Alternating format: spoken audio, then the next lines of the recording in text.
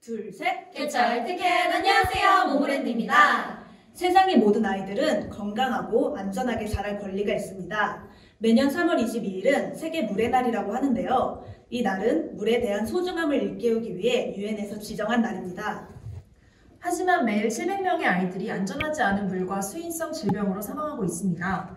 특히 인도네시아에서는 식수오염과 물 부족으로 어려움을 겪는 아이들이 건강을 잃고 있다고 합니다. 물로 인한 질병으로 고통받는 아이들, 깨끗한 물을 얻기 위해 아주 먼 거리를 매일 걸어야만 한다는 아이들의 이야기를 듣고 마음이 무척 아팠습니다.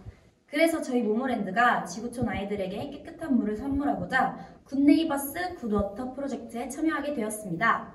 오염된 물과 비위생적인 환경으로 마실 물조차 없는 아이들이 언제든 깨끗한 물을 마실 수 있도록 여러분의 관심과 참여가 필요합니다.